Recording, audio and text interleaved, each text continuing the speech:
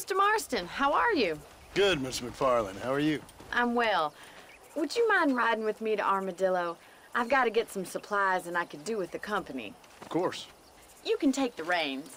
It wouldn't do for a terrifying bounty hunter such as yourself to be seen driven around by a woman. Hop on up, Mr. Marston.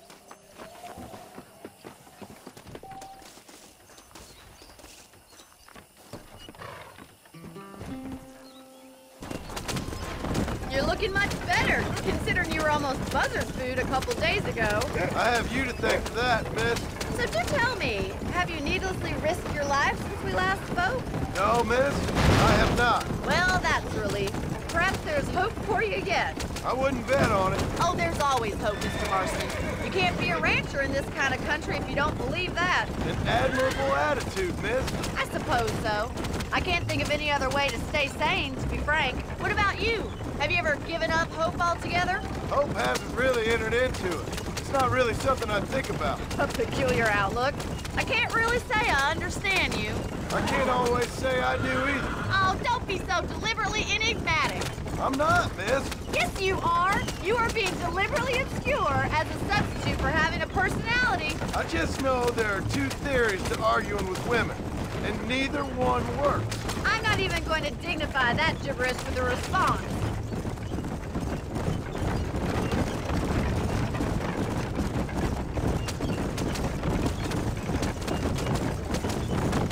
I think it's kind of funny I found you dying on the side of the road and now you're driving me into town. You have a strange sense of humor. Well, you must admit, it's an unusual start to a friendship. I didn't realize we were friends, Miss MacFarlane. Oh, please. Now who's being funny? Listen, I know that business with Williamson is your business, but I don't know. You've been good to us, and I don't think you're a bad man.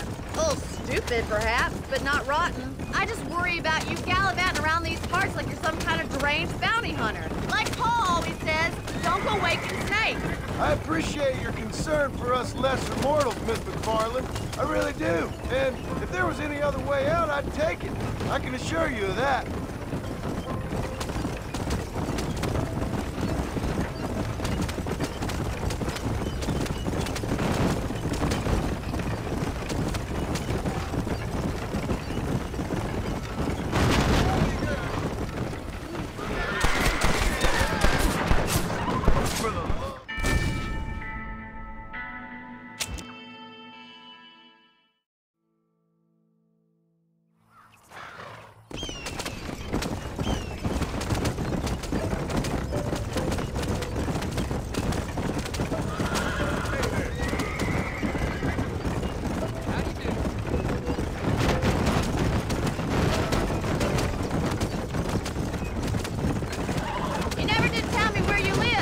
I have a small holding up in Great Plains. A farmer?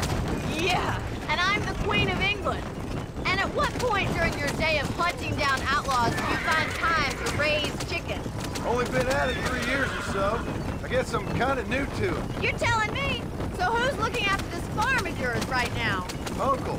Well, he's not my uncle, as far as I know. Just an old dog who's as lazy as a lizard on a hot day.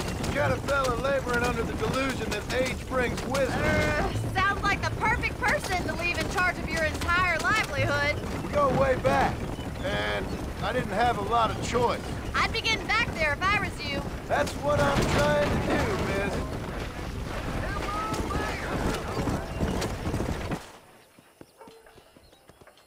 So this is Armadillo. Manhattan it is not, but it does okay for us.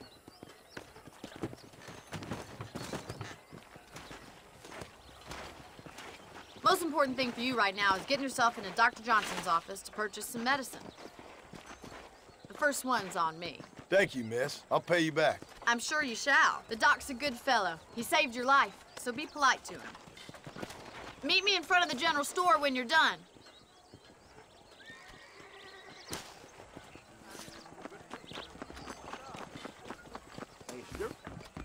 How would Armadillo get by without me? Hi there. You need something for that gout? Thanks a lot. I'll be running this town by winter, mark my words.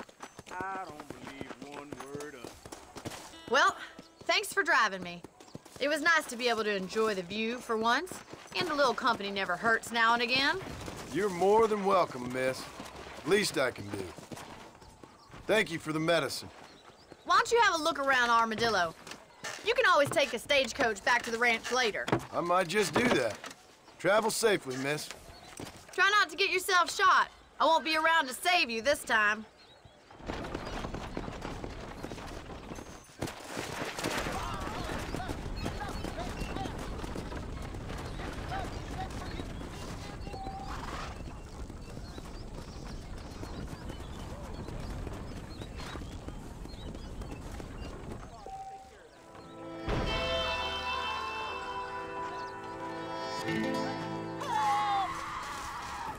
You rotten son of a bitch! Help! Someone! Get away from her! I suppose not all men are bad. I won't forget what you did here. Don't mention it, miss.